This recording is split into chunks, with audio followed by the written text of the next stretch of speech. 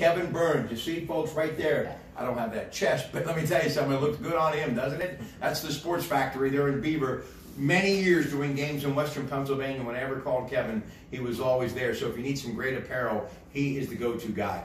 Mike was here along with Brian, Brian Varico, that great Varico family. Much love to my dear friend Danny, who I love and miss all the time. I need him to come back and tell me some great Rochester stories. But this is the baseball duo, the head coach, one of his many assistants. So, coach, what in the world can you be doing now in February to get ready for the season? Talk to me. We're just doing a little conditioning, building some arm strength up, getting our core core muscles involved and stuff. They've been sitting around for quite a while. Most of these guys that didn't play basketball, so we're just getting a little workout, working on some fundamentals, and you know, you know as well as I do, without fundamentals, we're in big trouble.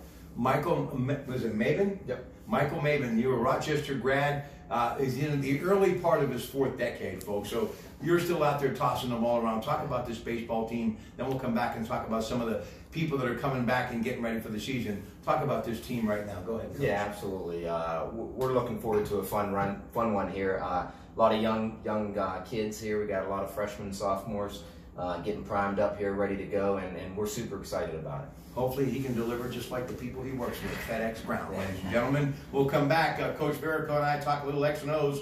Rochester Rams baseball. Is there anything that I don't do, folks? Stay with us. We'll be right back.